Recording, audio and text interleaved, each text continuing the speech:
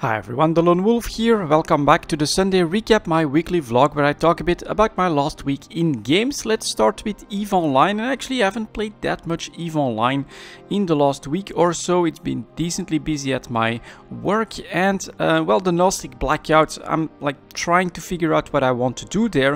And I'm still not sure, of course. If I want to go like the PvP pirate hunting route, well, I'm in a bad spot for that because right next to me is Providence and I actually want to respect the not red, don't shoot philosophy that exists there. So we'll see in the upcoming days and weeks what I actually want to do with the Gnostic Blackout. But for now, last week has still been in Highsec where I did a bit of exploration, not that much of it, but the drops have been around average. So I was actually decently uh, pleased with what I managed to do there. Of course, I kept up with the PI as well. Some of my planets are starting to get nice and full of uh, finished PI products. So we'll have to make a trip back to Jita at some point. But I also noticed from uh, Eve Talk that uh, stuff that I'm producing is actually under pressure a little bit. So I need to find the right timing for that as well.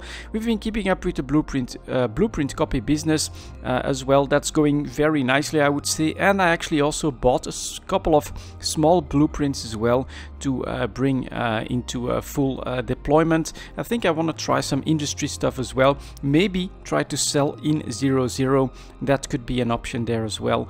we'll see how all all of that evolves. Uh, in general, I think that the feedback for the Gnostic Blackout seems to be pretty positive. Lots of people are finding at least some more fights than they did before. I'm not sure what it's like to rat uh, or to mine in such an environment. Of course, that could be a lot more risky but I also get the impression from what I read from the big coalitions that they have ways to basically secure systems uh, with standing fleets and with things like that. That uh, I mean, they should still be able to uh, run their PVE empires at this point in Nullsec as well. I haven't heard anything about the drifters, by the way, so I'm not sure if those guys are still uh, uh, flying around harassing the Nullsec structures, Nullsec ratters, and things like that as well. But if that gets toned down, or as I've said, I think that that does need to have like a reward path or something like that uh, when it comes to those uh, drifter incursions in 0-0. I think it's looking pretty good. Lots of people I think are having fun with the Gnostic Blackout at this point. Perhaps I'll try to join them uh, next week or something like that.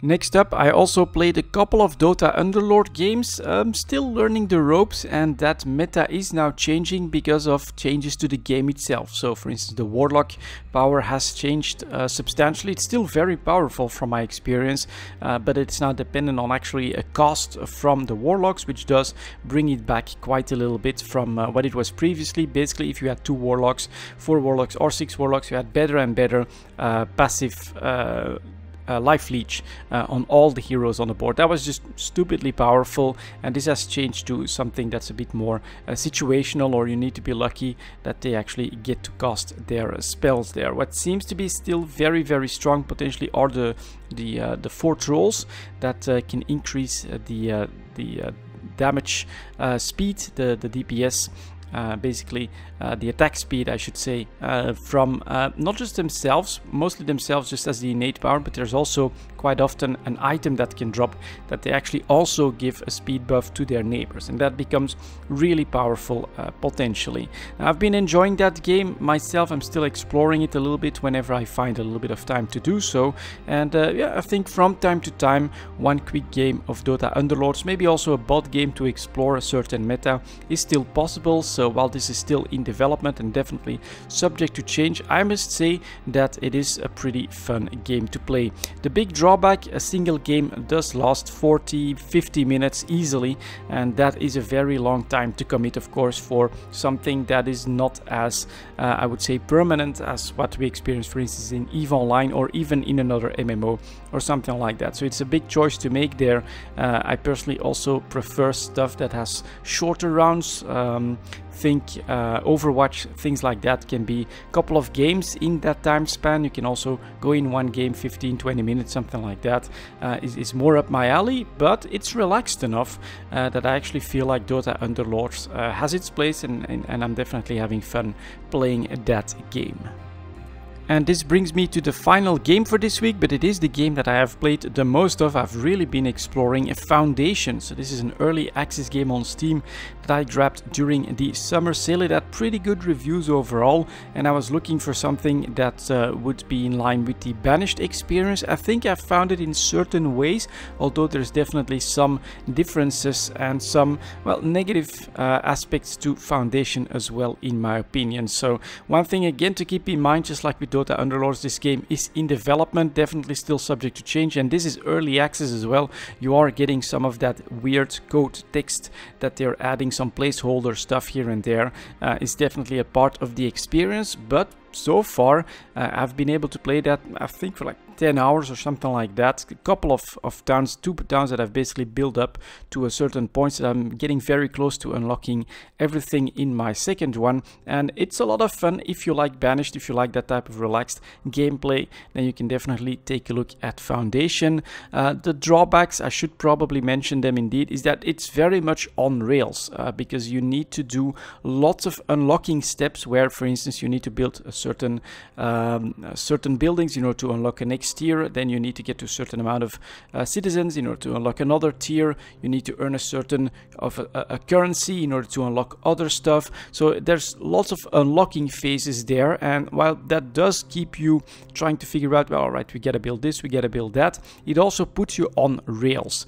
Uh, every single game is gonna start the exact same thing. And in order to get to the fully unlocked items, you're gonna have to go through all the same steps. And as a result, I think that they will start to be and feel very similar. Uh, there's there's very little room to deviate from the path I have found, uh, especially early on. Um, you have to then start to work on your economy, but you don't have extra workers for anything, so you're on Rails, uh, you've got to go through a certain steps in order to grow to a certain size. And that's only then that you can start to decide, well, all right, I want to do a bit more of this, a bit more of that.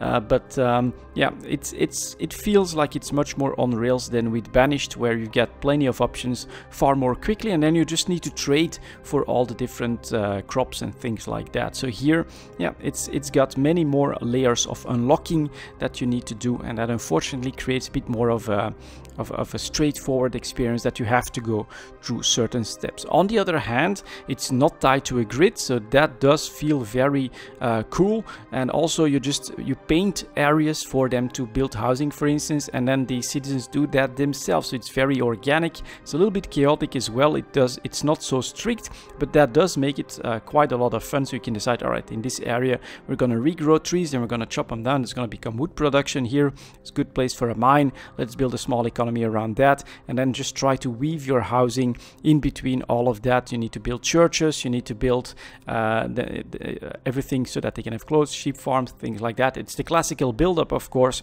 uh, but uh, you can basically really put anything anywhere and uh, it feels and looks very organic uh, as you build up a town in foundation so yeah i've spent a, a decent amount of uh, time in foundation i'm not sure how much more i want to spend in there basically i'm very close to unlocking everything in the second town that I've made there.